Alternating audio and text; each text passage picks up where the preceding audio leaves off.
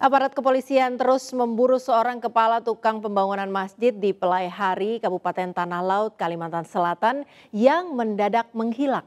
Raibnya kepala tukang juga dibarengi uang setengah miliar rupiah lebih yang sedianya akan digunakan untuk pembuatan kusen dan ukiran untuk mihrab masjid.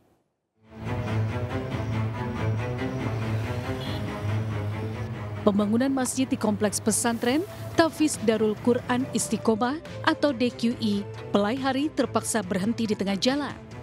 Pasalnya uang pembangunan Kusen Raib bersama hilangnya AF, kepala tukang yang dipercaya melaksanakan pembangunan.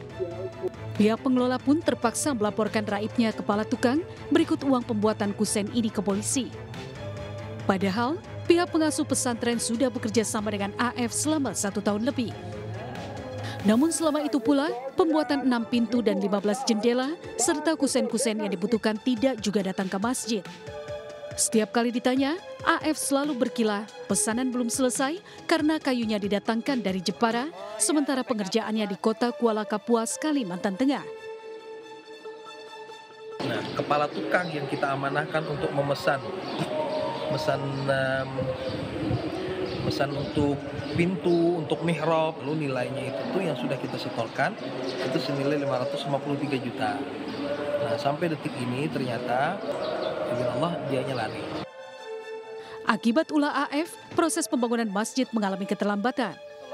Pihak pengelola pun harus memesan ulang pembuatan pintu dan jendela berikut ornamen lainnya. Dari Tanah Laut, Kalimantan Selatan, Zulkifli Yunus, Ayus melaporkan.